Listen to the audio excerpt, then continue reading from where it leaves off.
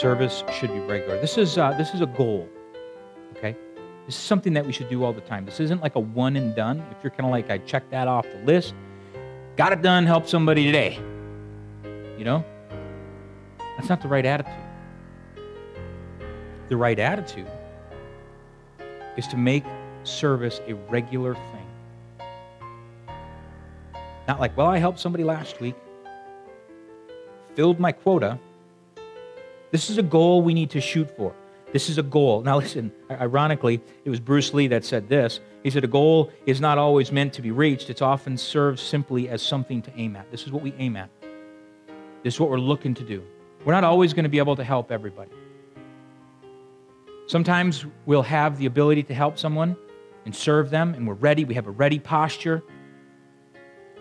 And, and, and there's no one here in this proximity to serve. Oftentimes, it's because we're not looking for it, and that's just true. Oftentimes, if we look for people to serve, God will reveal that to you. And He'll say, Here's, a, here's people right here.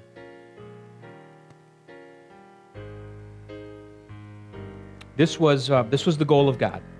Now, we know that He came to earth. Jesus came to earth to die on the cross to pay for our sin. We know that. But Mark 10:45 says this, for even the son of man came not to be ministered unto but to minister and to give his life a ransom for many. Listen, his goal was to serve. Now he served in death, but he served in life. The reason Jesus came was not for us to serve him, he came to serve us. Now, we should serve him, yes, because preparing to serve is not just, is not just exclusive to, to, to believers, but also to unbelievers, but also to God. And so oftentimes we say we can only help a certain group of people homeless people, people without food, people without clothes. We say, no, this is for all of them. It's for, it's for all of the believers, all of the unbelievers, for the people who are in need, for the people who deserve it. It's also for God. Service is, is vast. It's amazing how vast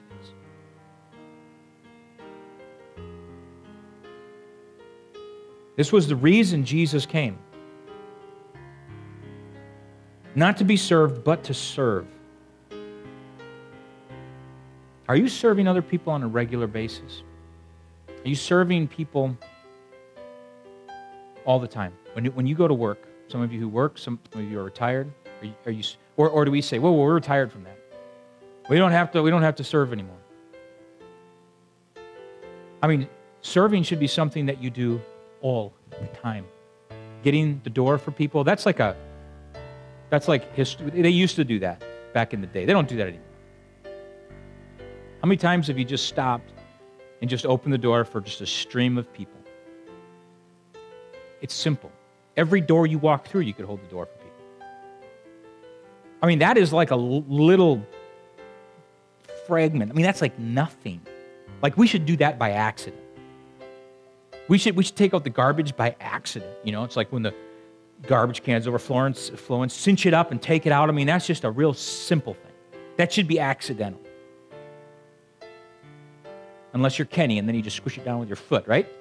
That's how he does it. There's a joke there, but I, anyway. Serving should be regular. We need to set up a plan, don't we? We need to set up a plan for serving. As, as Christians, I think it's, uh, it's only like uh, when, when, uh, when somebody, you know, this older person is, is coming through the door and it's you just hold the door and then that's just one time and then you just but set up a plan. Have you ever done that? Uh, when i was a kid when i was a kid i would uh, i would go out and shovel sidewalks and, uh, and, and driveways. Now i don't i try not to do that anymore.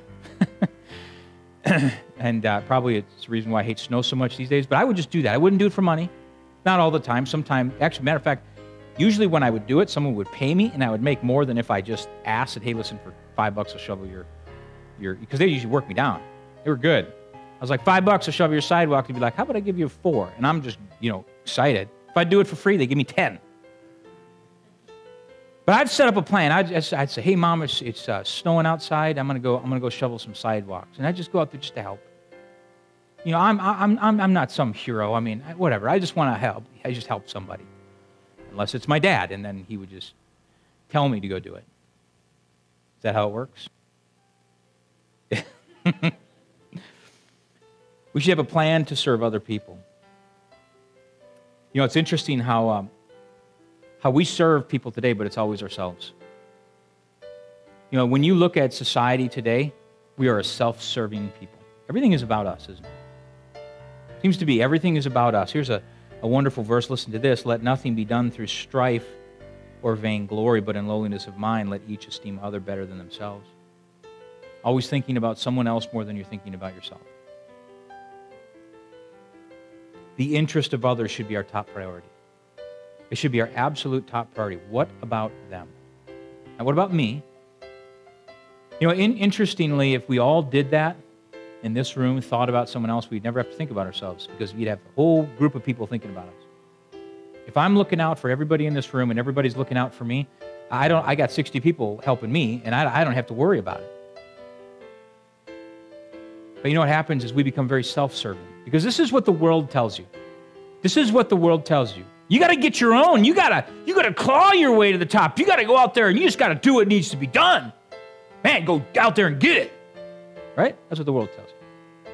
As opposed to say, look, no, no, no, no, no. No, no. I, I want to go out there. I want to help people. And you know what? If I never see anything in return, then that's fine. How many of you have that attitude? It's usually about me. I want something out of this deal. It's all about me. In marriages, it's that way. With your kids, it's that way. In churches, it's that way. In your job, it's definitely that way. You want to be served. Seems like everybody wants to harvest, but nobody wants to plow the field. Think about this. Think about the fact that our top priority should be the interest of other people. The simple and selfless habit of serving people. It's going to make you a grateful people. It's going to make you a real grateful people.